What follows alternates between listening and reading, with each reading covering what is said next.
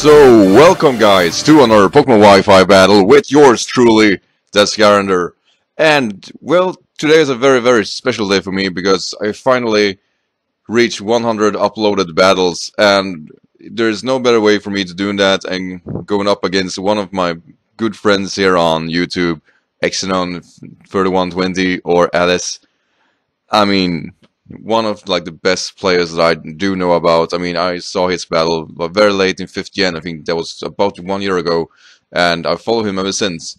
Um, good friend and a genuinely good person. Um, he has some things working against him, so yeah, love helping him out. Like I said, he's a very very good person, it's the least I can do. And repaying me with a battle is is too much. It's it's I'm very very thankful, and for such a special battle too. It's yeah, it's it's uh, it's huge for me. So uh, like I said, real thankful. Uh, if you guys don't know him, but know me, then what the hell? Make sure to check him out. He's one of the best one around. I mean, you will not be disappointed. And other than that, I mean, fast review here on the teams. I bring in my safest team that I got that never lost. Uh, Seismitoad, Gurdurr, Swallow with the Boom Burst, Dragalge Specs, Sawsbuck with Scarf, and Magneton with DB Light, obviously.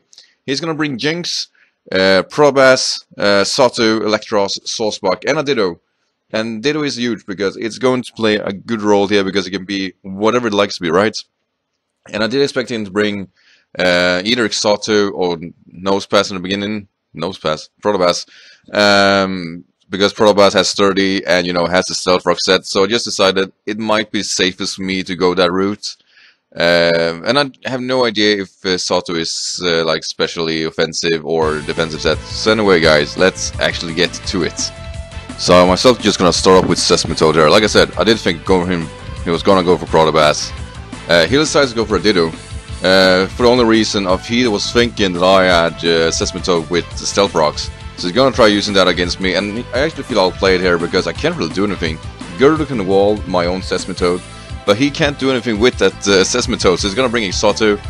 I was kinda gamblet here. I was very lucky went for Night Shade and not like a Side Strike or Psychic, so I'm just gonna go for knockoff here.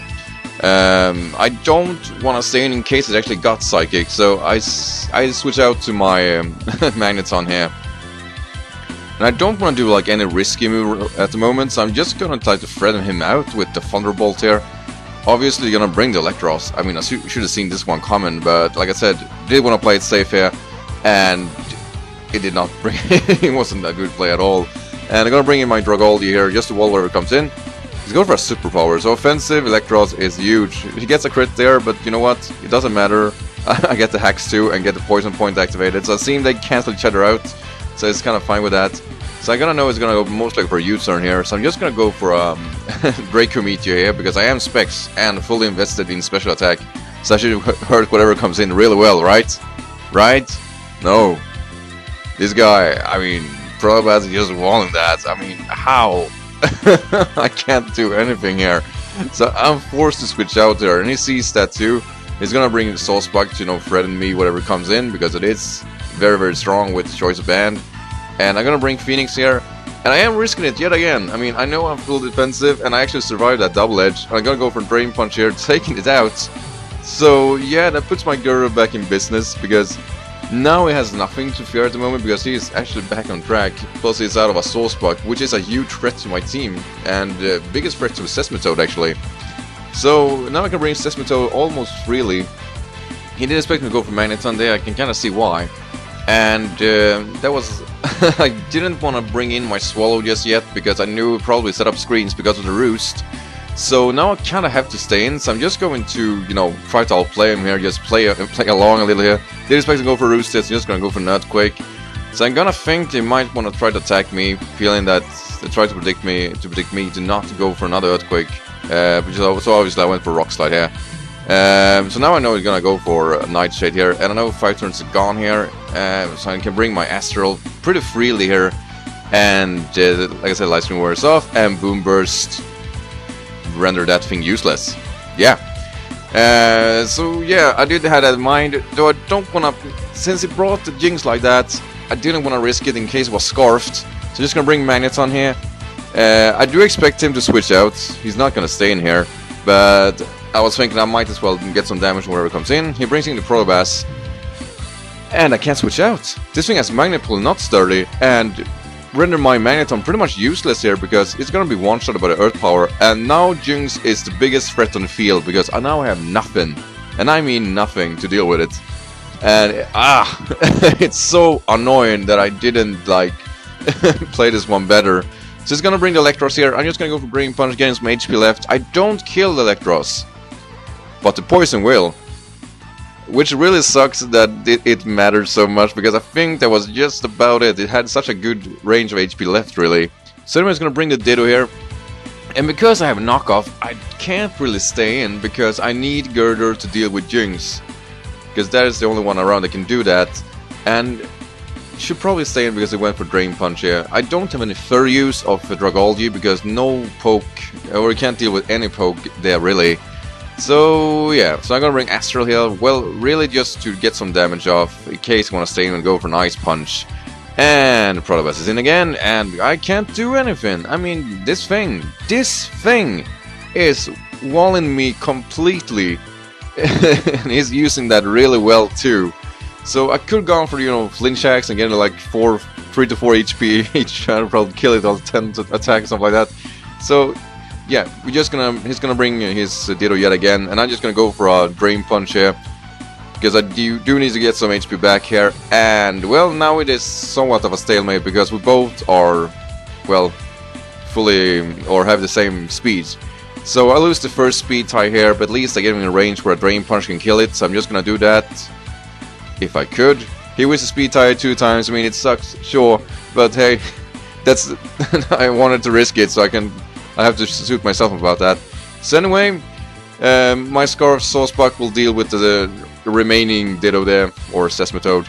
And here comes the Jynx, I know I'm scarred, so I at least can try to take it down, but like I said, it was probably scarred, so it's going to one-shot my Sawsbuck there, which really sucks. I mean, he barely got to do anything, but that goes for his Sawsbuck too, so I guess that's kind of fine.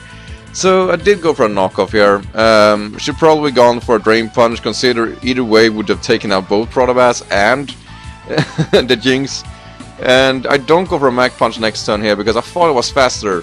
So a really really dumb play of me because that means that um, Exanon can just go for the safe move which is the Frost Breath on both my Swallow and um, my uh, Gurdurr here.